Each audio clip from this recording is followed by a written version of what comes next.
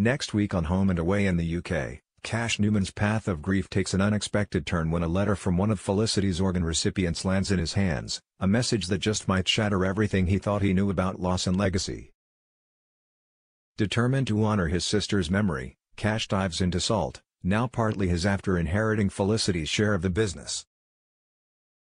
But his determination becomes a powder keg for ex-fiancée Eden, who finds his presence nothing short of unbearable.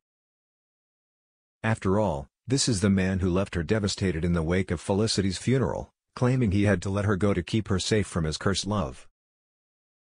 Mackenzie, Salt's co-owner, can barely hide her irritation as Cash starts to meddle in areas he's far from qualified in.